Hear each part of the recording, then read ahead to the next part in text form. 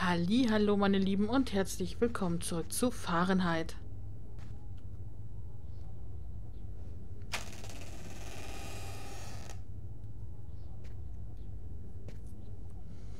Agatha, du gutes Stück. Agatha? Agatha, ich bin's, Lukas. Warum habe ich das Gefühl, dass sie tot ist, die Alte?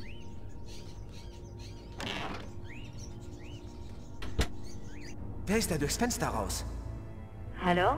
Ich brauche Ihre Personalien, um den Anruf aufzunehmen. Hallo? Die Polizei wird in wenigen Minuten eintreffen. Hören Sie mich, Sir? Agatha.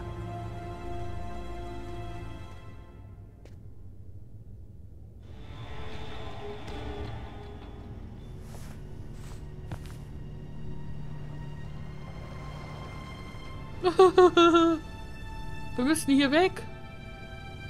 Sie ist tot.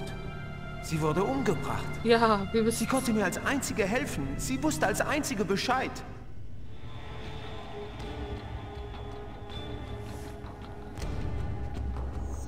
Vielleicht Können- hat sie etwas hinterlassen oder irgendwo eine Antwort versteckt.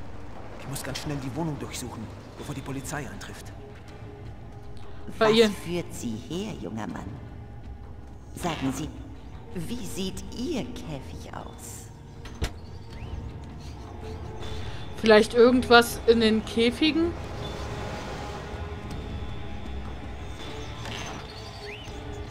Ach Gott, ich bin ganz nervös.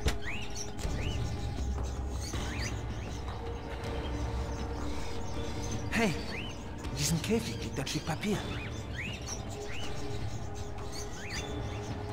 Mist. Die Tür ist fest verschlossen. Ich muss den Schlüssel oder einen Gegenstand finden, um sie aufzubrechen. Nein!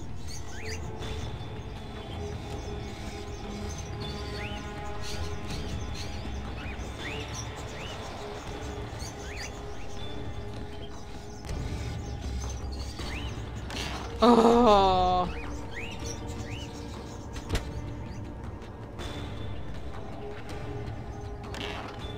Jetzt geh auf, ey. Ich geh kaputt hier.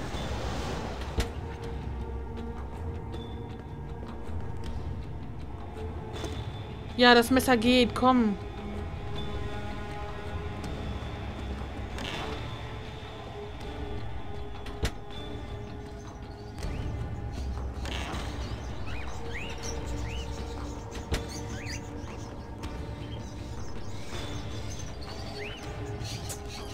Mach doch hin.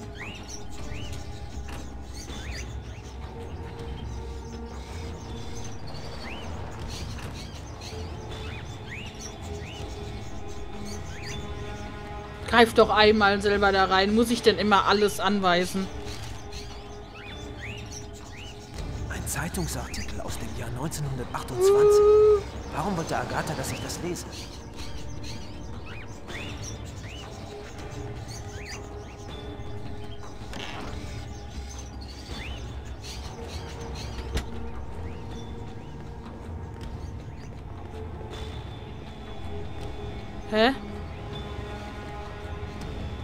Hier nicht raus. Oh, scheiße, ey. Bitte nicht.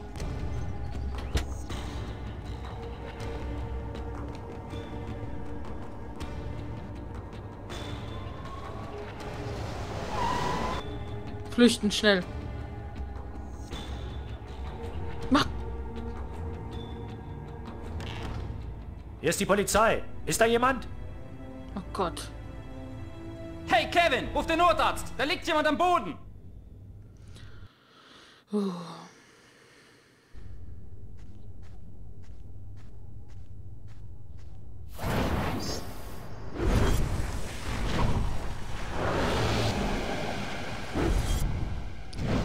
Laundry? Was schon da?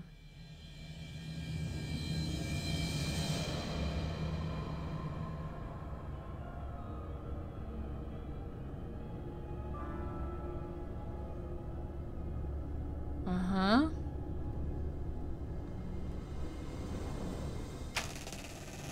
Ist schon geschlossen. Tut mir leid.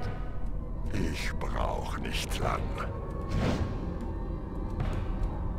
Nasta nachtitlan quentiletni rachtrastni kastanechli quechni nar.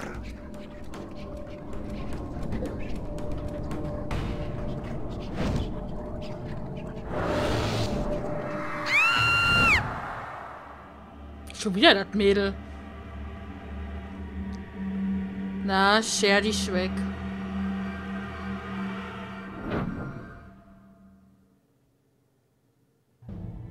Ich habe das letzte Teil des Puzzles gefunden. Jetzt müssen wir nur noch den Mörder festnehmen. Captain Jones hat uns alle Mittel bewilligt. Er kann uns nicht entkommen. Okay, da wären wir. Alle in Position. Verstanden.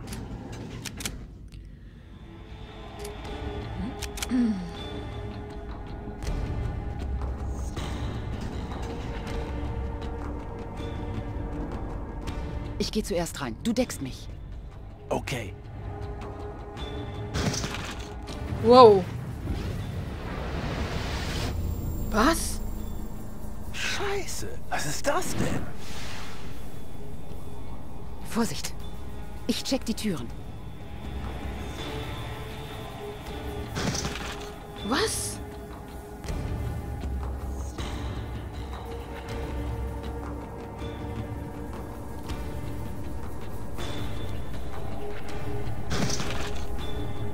Verdammt. Der ist erstmal weg. Was ist denn hier mit der Bude passiert, äh?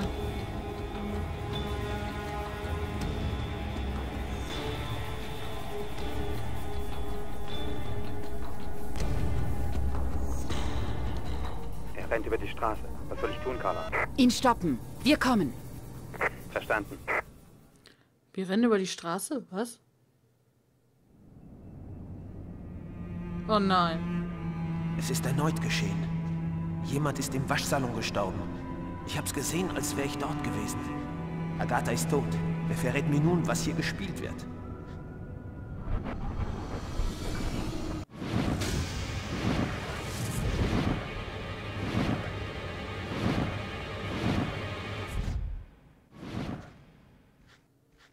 Tun Sie die Hände hoch. Wow.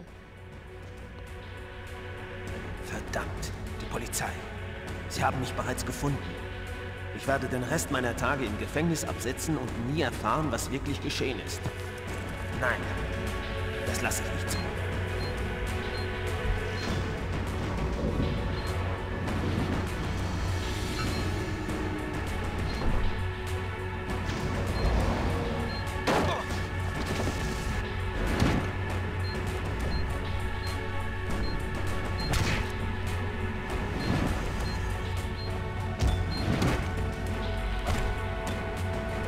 Stopp oder ich schieße. Keine Bewegung.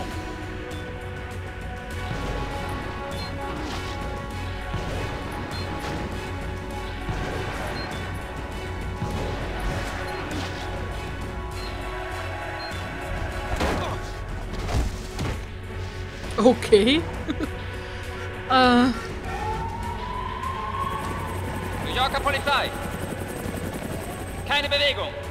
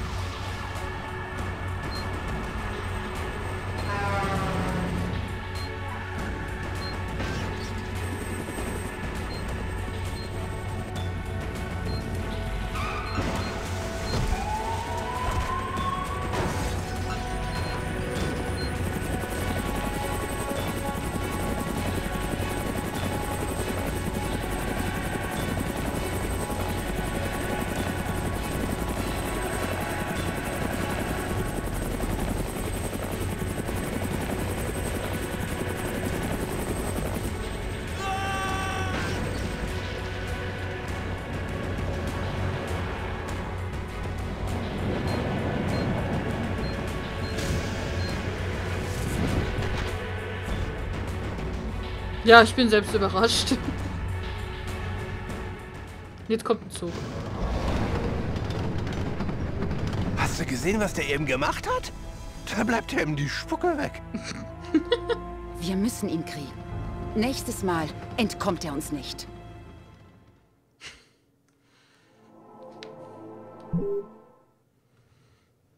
Fünf Männer im Krankenhaus. Vier Polizeiautos Schrott. Ein Hubschrauber, der fast über unseren Köpfen explodiert. Und der Typ, der verschwindet in der U-Bahn und geht uns durch die Lappen. Ich hoffe, dafür haben Sie eine angemessene Erklärung. Es ist alles ganz anders gekommen als geplant. Die Operation war genau nach Vorschrift vorbereitet worden und alle waren an ihrem Platz, aber Kane verfügte über anormale Fähigkeiten. Was wollen Sie mir eigentlich weismachen? Dass dieser Typ Superman ist? Meinen Sie das? Und Sie glauben wirklich, das kaufe ich Ihnen ab? Chef, wir sind Profis. Wäre das ein ganz normaler Typ, hätten wir den schon längst eingebuchtet. Wir unterschätzten ihn. Er ist viel gefährlicher, als wir dachten. Ihre fadenscheinigen Ausreden können Sie sich sparen. Wenn die Presse spitz kriegt, dass Kane uns entwischt ist, werden die mich in Stücke reißen und im Rathaus wird man meinen Kopf fordern. Also, was haben Sie jetzt bitte schön vor? Haben Sie eine Spur? Kanes Foto hängt bald in jedem Polizeiwagen, Bahnhof und Flughafen. Wir werden jeden Zentimeter seiner Wohnung durchsuchen und seine Bekannten verhören. Er kann sich nicht ewig verstecken. Ich will hier alle verfügbaren Männer im Einsatz sehen, verstanden? Ich will, dass Kane binnen 48 Stunden das Handwerk gelegt wird, ganz egal wie. Ich will diesen Geisteskranken hinter Schloss und Riegel sehen, bevor noch jemand von ihm aufgeschlitzt wird. Und jetzt raus hier! Hm. Carla, ich hab dich schon gesucht. Wir haben Kanes Abdrücke in einer Wohnung gefunden, wo die Leiche einer alten Frau lag. Toll. Das ist nicht alles. Gestern Abend geschah in einem Waschsalon ein Doppelmord. Eins der Opfer starb an Messerstichen in der Herzgegend. Garrett ist schon vor Ort. Er wartet auf dich.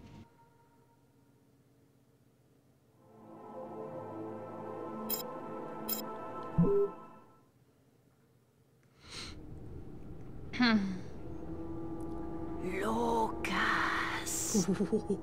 Lukas. Boah, geh weg, ey.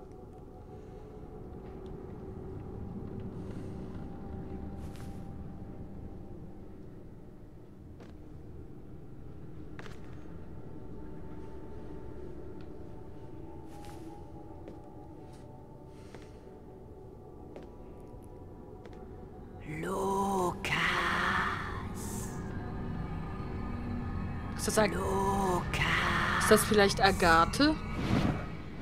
Ja. Agatha?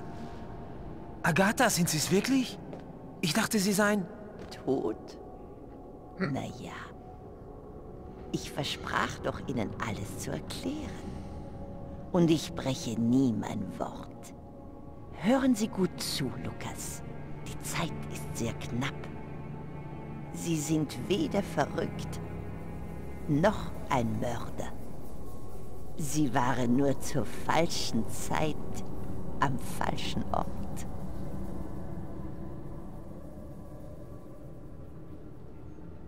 Warum gerade ich? Warum wollten Sie diesen Mann töten? Reiner Zufall. Irgendwer musste irgendwen töten, damit sich die Schlangenmünde öffnen. Sie sind weder der Erste, der für dieses Ritual ausgewählt wurde, noch werden Sie der Letzte sein. Aber wer hat mich diesen Mord begehen lassen? Wer hat sich im Restaurant zu mir an den Tisch gesetzt? Niemand kennt seinen wahren Namen. Man nennt ihn das Orakel. Er dient den Mächtigsten der Mächtigen. Sie agieren im Schatten, aber regieren die Welt bereits seit Menschengedenken. Sie kommen! Fliehen Sie, Lukas! Sie wollen Sie töten! Queshnitlan, in der alten Maya-Zivilisation. Das kann Ihnen einiges erklären. Agatha? Agatha!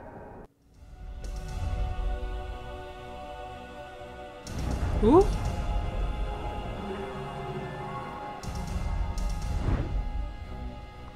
Och, schon wieder.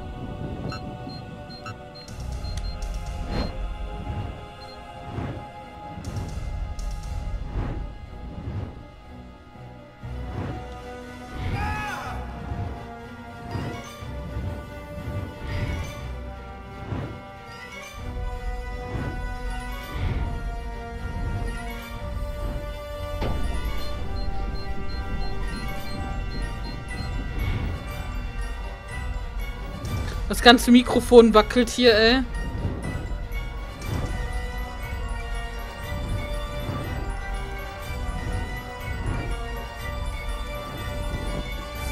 Boah, ist das anstrengend gerade. Alter. Oh, ich kann nicht mehr. Oh nee. Ich hab doch gar ich hab keine Krabben mehr.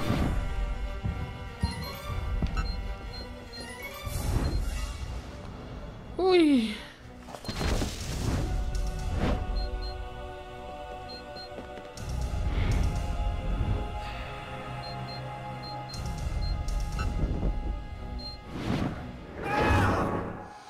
Lukas, Lukas, wach auf. Was machst du hier? Was ist los? Die Polizei sucht mich. Ich konnte ihr entkommen.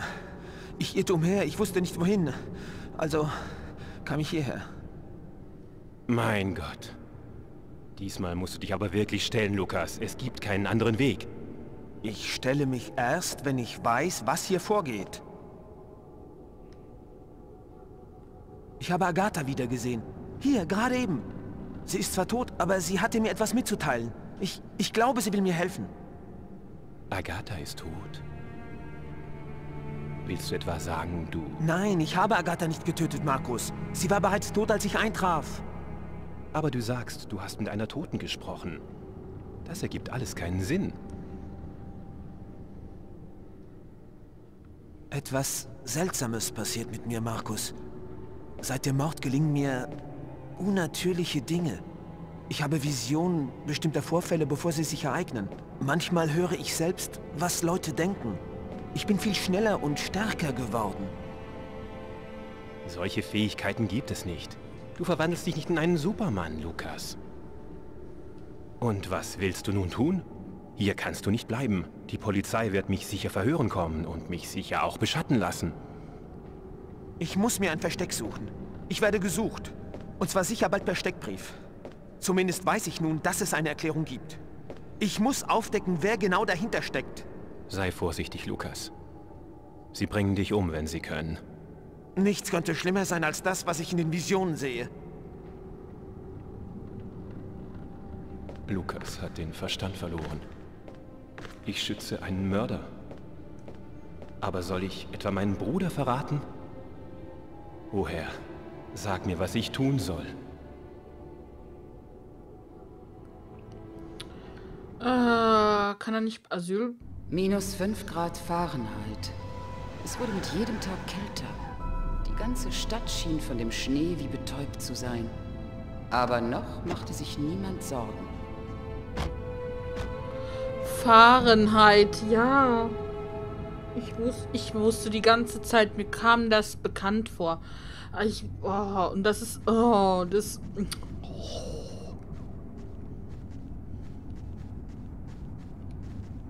Geh schon mal rein, Tyler. Ich frage erstmal Garrett, ob er schon was weiß. Tyler. Ist mir recht. Bei dieser Kälte hier draußen kann ich eh nicht denken. Geh schon mal rein, Tyler. Wer bist du hier? Na, du stehst hier noch rum, wa? Ah, ich habe schon gewartet, Carla. Also, was war hier los? Der Typ, der den Waschsalon führt, hat die Leichen heute Morgen gegen 5 Uhr gefunden, als er aufschließen wollte. Er kriegte die Tür nicht auf und spürte, dass sie von innen blockiert war. Er sah die beiden Leichen durchs Fenster und hat die Polizei gerufen. Was wissen wir über die Opfer? Der Mann hieß José Lopez. Er arbeitete hier und sollte gestern Abend zuschließen. Die Frau hieß Anita Martinez. Sie kam regelmäßig hier ihre Wäsche waschen. Ob Kane was damit zu tun hat? Die Frau starb an drei Stichen mitten in die Herzgegend. Und zwar an einem öffentlichen Ort und ohne offensichtliches Motiv. Da fragst du dich noch? Danke, Garrett. Ach so. Kannst du jetzt? Nee, du kannst nicht mit mir reden.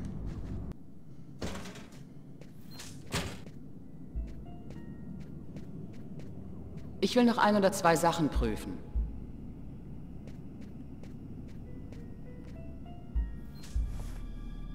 Komisch. Wieso ist hier Blut?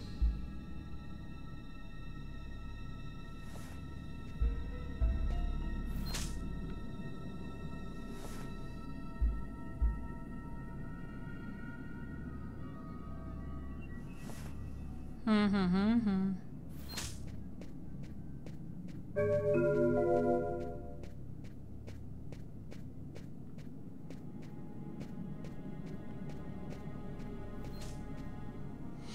Gucken wir mal. Drei oder vier Stichwunden in der Herzgegend. Wie beim Restaurantopfer. Würde mich nicht wundern, wenn die Autopsie eine Durchtrennung der Arterien feststellt.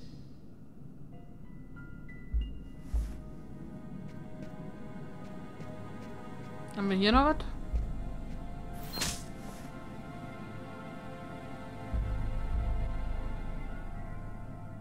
Hast du das Blut hier gesehen? Ja, habe ich. Und was schließt du daraus? Dass der Mörder blutete, bevor er sein Opfer erstach. Genau wie im Toilettenraum des Restaurants.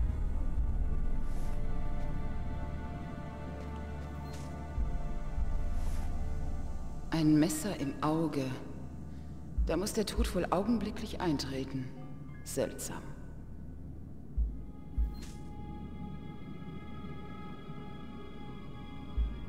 Seine Handgelenke sind aufgeschlitzt.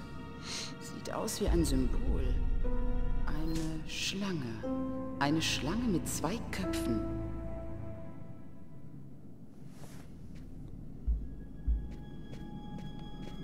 Ja, was hat er zu... Er sieht da nichts drin.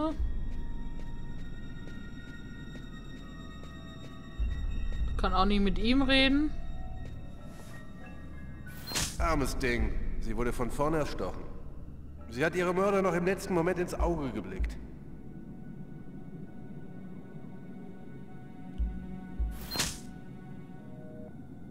Es tutet noch. Sie hatte wohl keine Zeit mehr zu wählen. Schade. Ein Zeuge wäre äußerst hilfreich gewesen.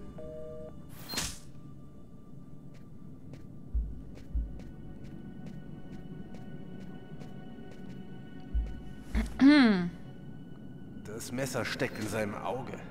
Das muss verdammt wehtun.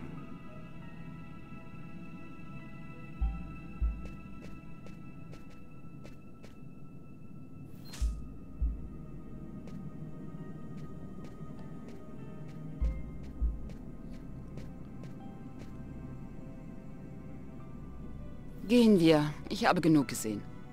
Was sollten wir hiervon halten? Hatte der Typ erst die Frau und dann sich selbst umgebracht? Das klang zwar absurd, aber eine andere Erklärung hatten wir nicht.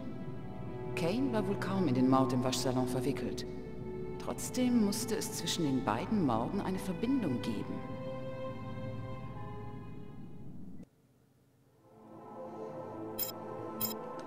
Tiffany's Wohnung. Du, du, du. Ich wusste nicht wohin. Ich war erschöpft und fürchtete, schon bald entweder an der Kälte oder vor Hunger sterben zu müssen. Ich hoffte, für ein paar Stunden in Tiffany's Wohnung Ruhe finden zu können, um neue Energien aufzutanken und zu entscheiden, was nun zu tun war. Ich war erst einmal in ihrer neuen Wohnung gewesen und erinnerte mich nur vage, wo sie genau lag. Aber ich war mir sicher, dass ich mich in der richtigen Straße befand.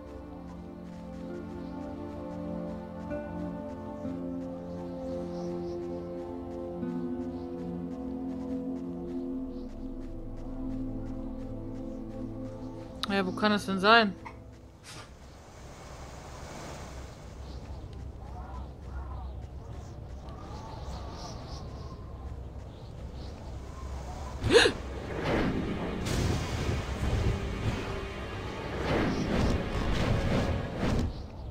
Polizei.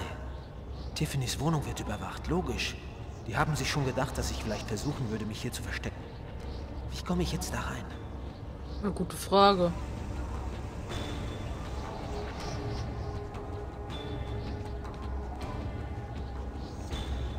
Noch ein Obdachloser. Ich habe das Gefühl, die sind überall und beobachten mich. Ich krieg wohl langsam eine Paranoia. Ja. Könnt ihr in ein Nachbarhaus reingehen oder? Oh, hier.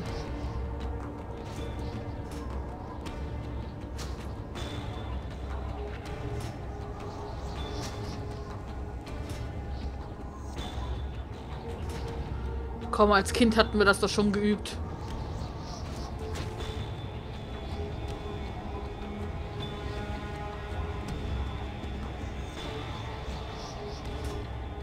Da ist schon wieder eine Krähe.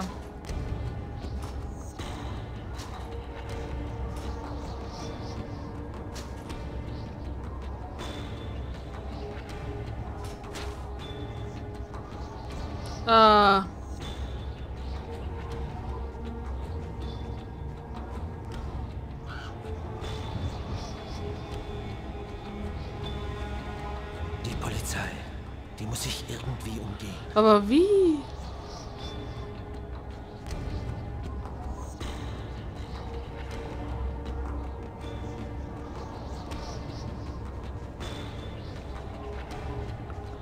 Boah. Kann hier das Rohr hoch? Im Ernst?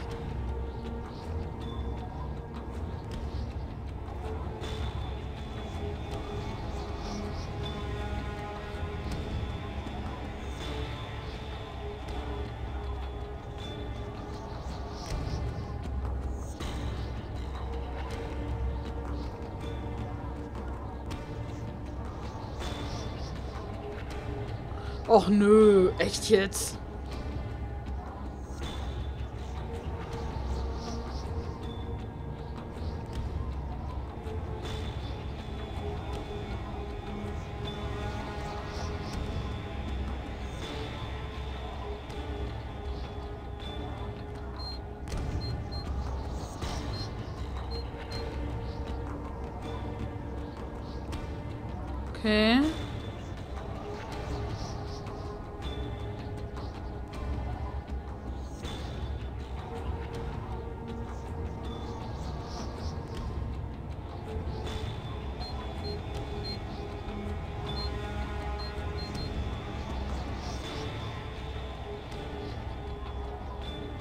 Das schaffe ich doch niemals.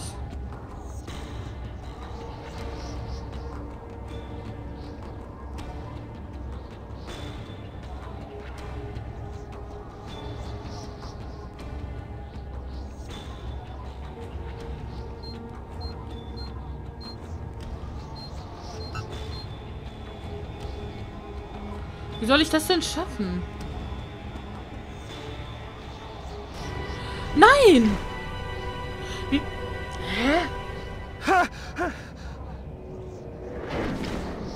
Doing, doing. Damit endet meine Geschichte. Ich werde nie erfahren, was an jenem kalten Januarabend im Restaurant im East End wirklich geschehen ist. Denn in den Augen meiner Umwelt habe ich nur das bekommen, was ich verdient habe.